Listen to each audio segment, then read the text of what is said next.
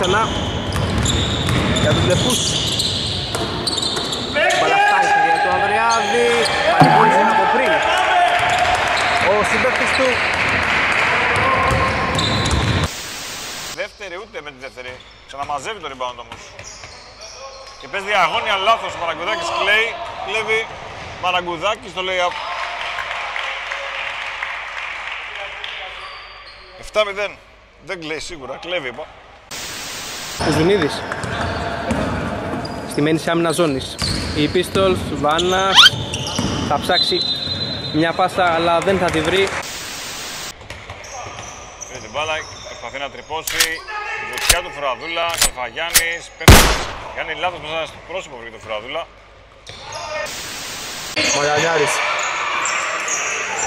Θα πάρει το τρίποντο. Ω, μέσα και αυτό. Λαρετζάκης ο Μαγκανιάρης. Ε,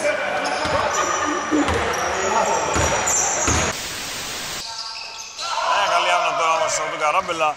Θα φύγει. Ω, αμάν. Παραλίγο να καρφώσει. Θα τελειώσει τη φάση με το αριστερό. Μας χάρισε το highlight της ημέρας. Γιάπης προσποιείται φάουλ από τον ε, Βέκο ο οποίος βγάζει τη φανέλα του και πάει έξαλλος προς τον πάγκο.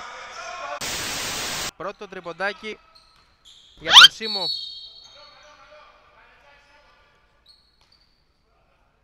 Ποδοσφαιρικό στόπ από τον Μπαούρι.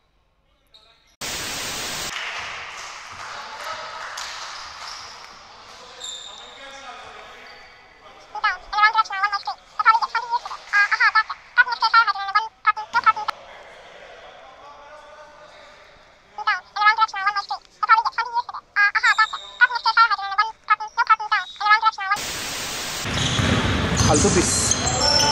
Ψάχνει μια δύσκολη πάσα, βρίσκει το ταμπλό.